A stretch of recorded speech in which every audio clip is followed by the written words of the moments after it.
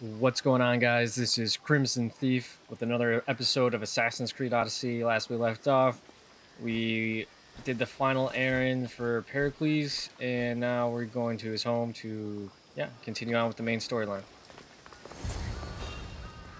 Whoa, almost got detected there. Oh. Kassandra, it's you! Wait, what? Phoebe! You promised we'd see each other again, and now we have. What's Phoebe I doing also over here? I also said stay out of trouble. Which I have. Okay, almost out of trouble. How did you even get here, Phoebe? Well, I did make some drachmi working for Markos. So you paid someone to bring you to Athens? Not exactly. Phoebe, I needed a drachmi for when I arrived. I couldn't use it all to leave, and I didn't want to wait any longer. So I sneaked on a ship. Don't worry, nobody saw. I just can't believe you made it. I don't remember much of Athens from when I was a baby. But every once in a while, something feels familiar. It's nice. Hmm. I can't believe you're here. Me either. I can't believe we both made it to Athens. It's so much different from Kefalonia. But what are you doing here? I'm here to get you ready. I have to make sure you leave all your weapons and change into these clothes. Whoa. So you somehow work here. For Pericles. No, for Aspasia. Who's that? I How never- is it you're working for Aspasia? Well, I did get into a little bit of trouble after I got to Athens. I may have been a leader of a small group of orphans that tried to cheat Aspasia. Whoops. We didn't know it was her, though. And you convinced her to hire you. No, she asked me on her own. That was lucky. Hmm. I don't understand why I have to change. It's just what you do here. I felt weird at first, but you forget about it pretty fast. And my weapons? Don't worry, I'll take care of them. We don't want to scare people in there. Well... I think I'm ready to go in. You can't! Not like that, anyway. The Athenians like it best when you try to fit in. But don't worry, I have just the outfit for you. I'll get changed. Yeah, we gotta Promise agree. you'll take care of my things? Yep. Leave your weapons in the corner, and I'll come back when you're done. Don't want to get everyone mad bef- as a first impression. I feel uncomfortable in this. now you look like everyone else. You say that like it's a good thing. It is. If you want them to take you seriously, this is the easiest way. Trust me. Hmm. Is that everything? You're all ready to go in. Don't worry. You've done scarier things than this. I'm struggling to think of any right now.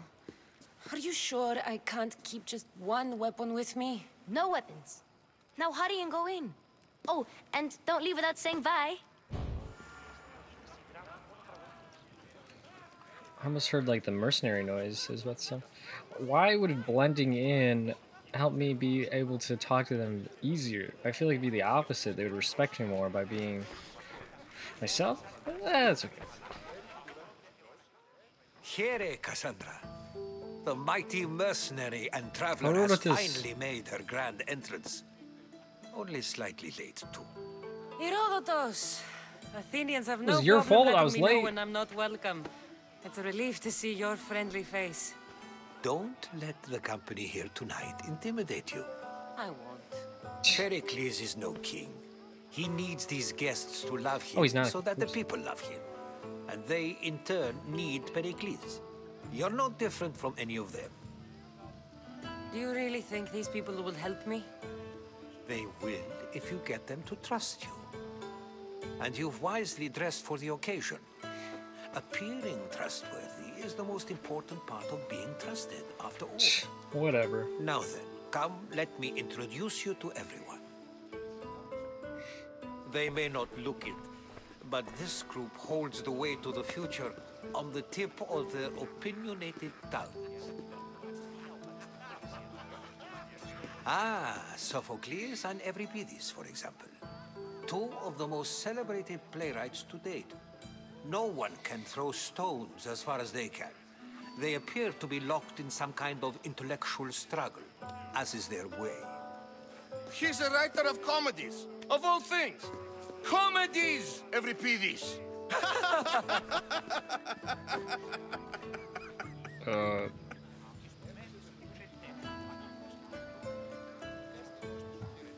It looks more like a lover's quarrel to me. Hermippos has also written his fair share of comedies. You should drink more.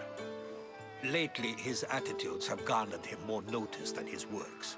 However, the fellow beside him, Protagoras, is a sophist worthy of as much praise as the great Socrates himself. oh. Inviting Socrates seems like a good way to ruin everyone's night. I'm surprised they would let him in the door. Oh, don't let Socrates get under your skin. At least he wore shoes for the occasion. and the poor thing gesticulating like an ape is Thrasymachos. If you listen closely, you'll notice he and Socrates are actually arguing the same points. but the wind from his wild gestures deafens him to critique. That isn't at all what I mean. Where is Pericles? Oh, he never attends his own parties. Which reminds me, there's something I need to get his help with. Vile Socrates, Oh. always appearing where I least expect him. Warrior, protect me from his amorous gaze. Oh, Alcibiades, this is not a time for jealousy, but for love. Whoa. Oh, okay then. Let's not use Alcibiades as an example. Be good and don't drink too much. Whoops. So, tell me, what does a misthios like you Whoa. think of a party like this? He's please seems interesting. Parties aren't my specialty. Yeah. This is going to be a long night. Party should be about vomiting up blood, not vomiting up poetry. These people are so clean. If these guests aren't to your own unique tastes, then just focus on why you came here in the first place. Thank you, Herodotus. Now, if you'll excuse me, Pericles is here somewhere and I need to prepare him. If he's alone, I'll tell him what your brother said. Agreed. Pericles needs to know. I'll stay here and look for clues. I hope they know something about your mother. Me too. All right, let's investigate. All right. And so it isn't the rich and powerful, but the gods who are the source of justice? What? No! Have you been listening to nothing I say?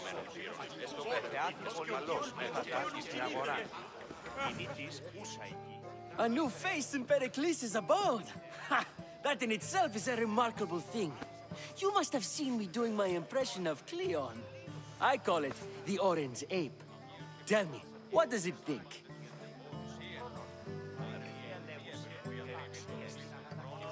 Did you just call me it? Watch your mouth, Athenian. It speaks, and so feisty too. Sometimes I wonder if I'm doomed to be the only young and beautiful thing here. So, what do they call you? Kassandra. Hmm, I wouldn't peg you as a Kassandra, but never mind. I'm Aristophanes, and this man is Euripides. Oh, go on. Introduce yourself. I'm Euripides. For a playwright, you're not much for words. Good men lead quiet lives, as old Euripides likes to say. Don't you, Euripides? Now, if you'll excuse us, I was just about to dazzle this old dog with my impression of Pericles. I call it the wooden board. The man is your host. Under every stone hides a politician, I always say. And Pericles is no different. Ugh. Assassinating you the first chance I get.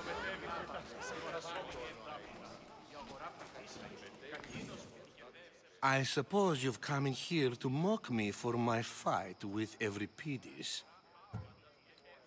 Uh, that wasn't a fight. I'm looking for clues. You're rich, arrogant ass. Oh. Spare me. I'm only looking for clues to help me find a Spartan woman.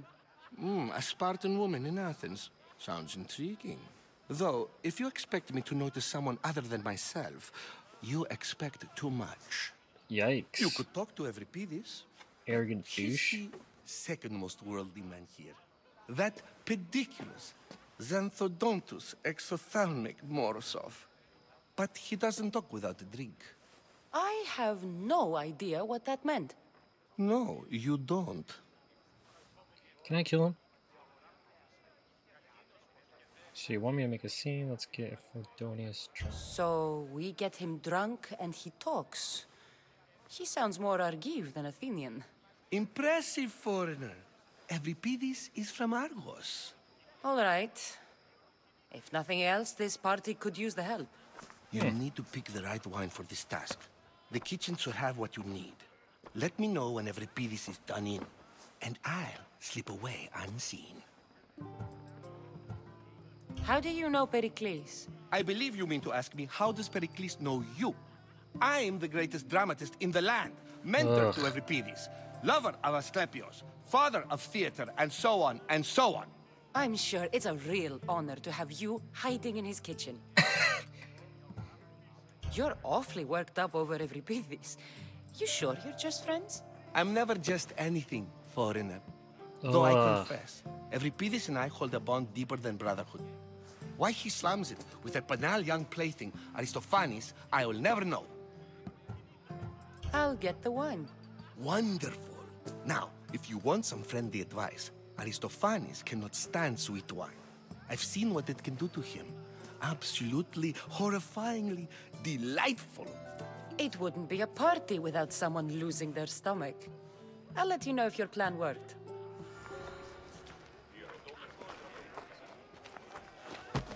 Oh, sorry. Save for that arrogant playwright. I don't see many distinguished guests in here. Can I help you with something? I'm Here for your dry wine. I'm here for sweet. I'm wine. here for your sweet wine. Yes, take it. But get out of my kitchen. I'm very busy, you know. Dang. Calm down. Ooh, he really enjoys sweet wine. Can I take both? All of them. Okay. Oh, sorry, buddy.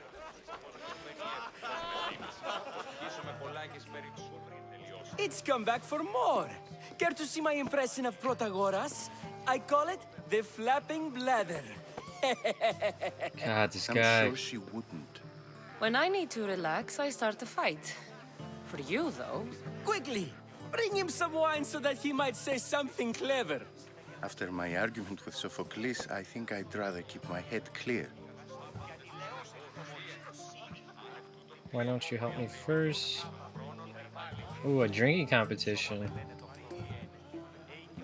You and Aristophanes could both use a drink.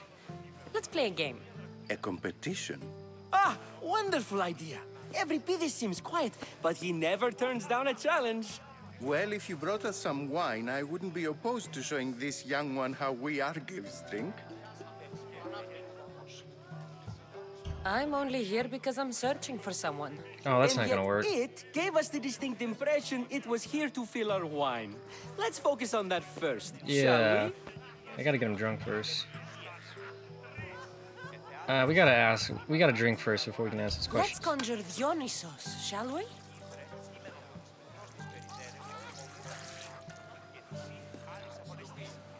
This, this is pure swill. Amateur. In my day, this would be considered nectar of the gods. Another round! Yeah.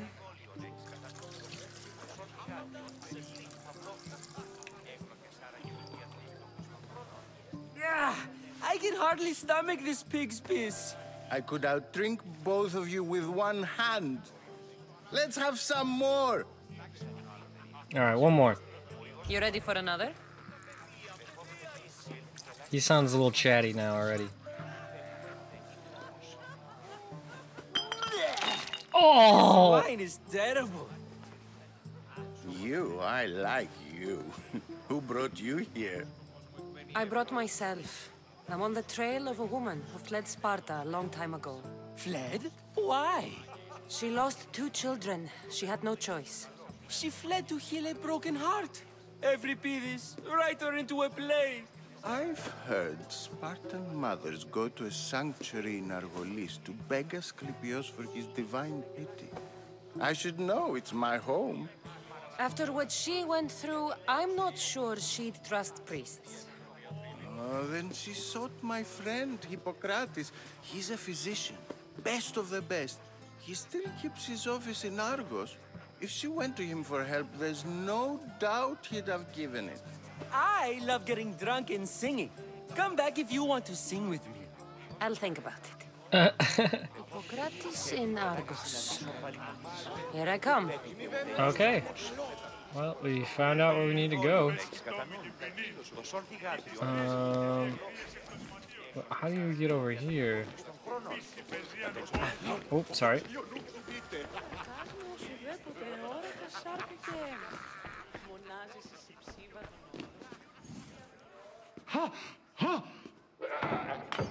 What the? Is this guy doing a Someone's goat? being hurt. Open this door or I'll kick it in! Oh, Oh, oh, uh, no, don't mind her. She likes to watch. Oh, look at you. Such authority, such aggression. I can see why Pericles has taken such an interest in you. Did you come to join us? It sounded like someone was in pain. Well, it can sometimes be hard to distinguish between sounds of pleasure and pain. Had I known you were going to knock, I would have left my door wide, wide open for you. ugh. I only came to this symposium to find someone. Sounds like we can help each other then, doesn't it? You fetch us a bit of oil, I help you find who you're looking for. Maybe they're in here. She's not in there. I Already found out I where she is. think I'll check all the same.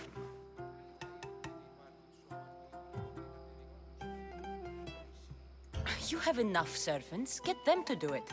Shame. If you change your mind, I promise to pour the oil on you and lick it off.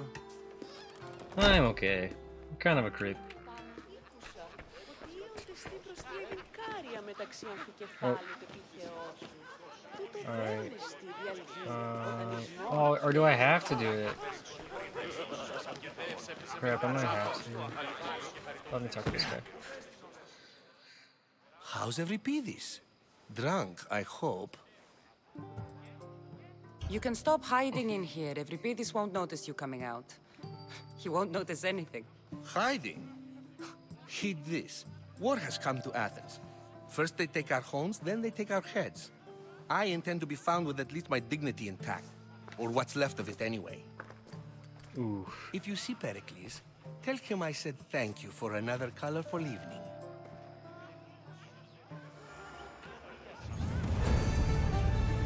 Alright, so it looks like I have to do give that guy oil. Ugh. Alright. I was just about to come find you. Clearly, you were thinking the same thing I was. I come bearing gifts. We're saved! Today, these women grieved for their sons, and these men worked the wall. But tonight, we forget all of that. Let's have some fun! What do you say? Care to join us? Now, it's time for you to help me, Ali. I'm looking for someone. All business right until the end. I like that. Focus. I'm looking for a woman who fled Sparta a long, long time ago. fled Sparta. No one flees Sparta. But let's pretend she did. If she were stupid, she'd be dead. If she were smart, she'd do what Aspasia did. She'd uh, earn her independence. The smartest and most resourceful women I've ever met have been in Corinthia. Must mean the Perute? Theatera? I've heard they play some sort of role in Corinth, but I assumed it was the same as any other city. Oh, no.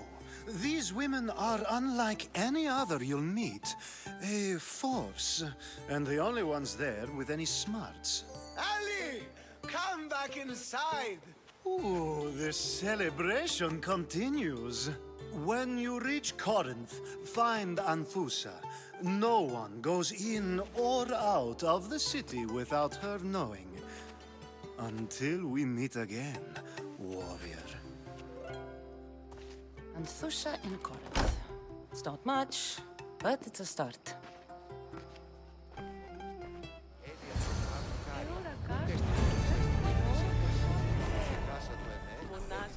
All right. Oh, oops. It's down here.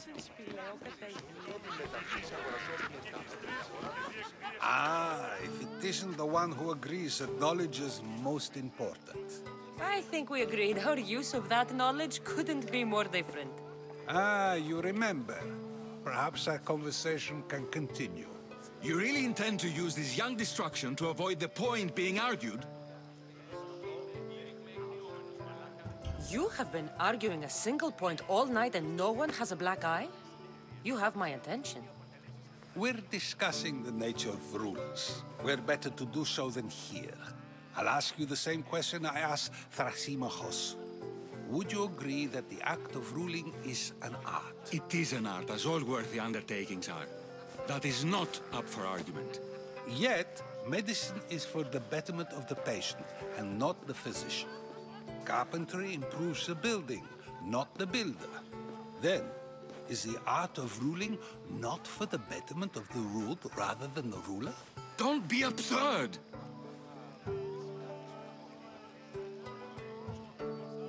I've seen enough of the world to know that there are no just rulers. Even Pericles is self-serving. Is a Spartan general who brings order to his troops, thereby saving his own life, self-serving? I'm not sure that's the case. Ruling a city and fighting in battle are different things. By practicing the art of war, doesn't the general guarantee some of his troops a ferry ride to Hades, when a swift retreat would save all their lives? You just said a general isn't self-serving when he brings order to his troops. Then you said he is self-serving because retreating would save the lives of his men? What are you trying to say? I never tried to say anything. But you just said those things. I said the words, but I didn't say anything at all. What? I only attempted to gain your view on the matter. You're wasting your time. Aspasia.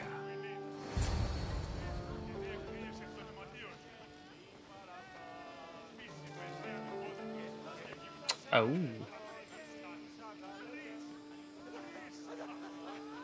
That was a creepy smile.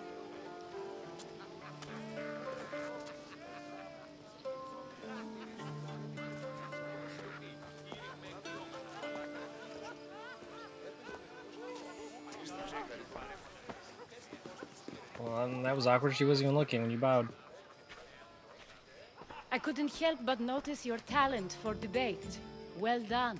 Socrates is an interesting character. Ah, Phoebe. Pericles has retired to the balcony already, has he? His ability to sneak off and sulk is second to none. I can go get him, and Kassandra can help. Everyone listens when she talks. That'll be fine. Run along. Kassandra will be right behind you. Now, allow me to introduce myself. My name is Aspasia. I had to go to great lengths to cover up your work in Megaris. Megaris? Man, I forget what I did there. Your spies have been watching me. I knew you people couldn't be trusted. We do what we must to survive, and there's no shame in that. It's how you got here, how I got here. The clothes, they fit you well, I trust. These may be the nicest clothes I've ever worn, but I feel a bit uncomfortable, to be honest. You never really get used to them.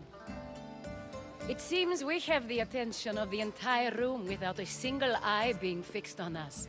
If you'd like to talk, do it now, and do it discreetly. I've been searching for a woman named Myrrine, my mother. I think she may be in danger, and my search brought me here. What clues do you have to her whereabouts? A physician named Hippocrates may have seen her in Argos. He's a good man. If you find a woman named Agathi there, do let her know Aspasia sends her regards. What else? Alcibiades gave me the name of a woman in Corinth. I'm sure he did. My dear friend, Anthusa, is the only one I know who's enjoyed a life in Corinth through legitimate means.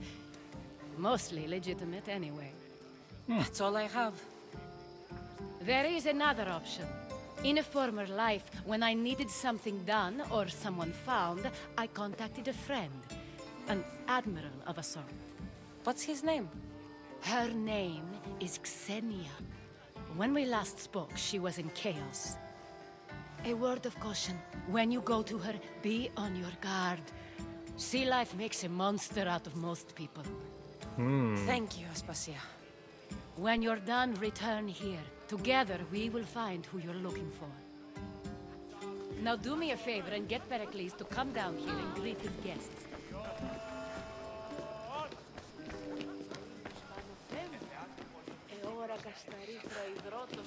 Alright, actually, looking at the time, I think we're going to end this one here.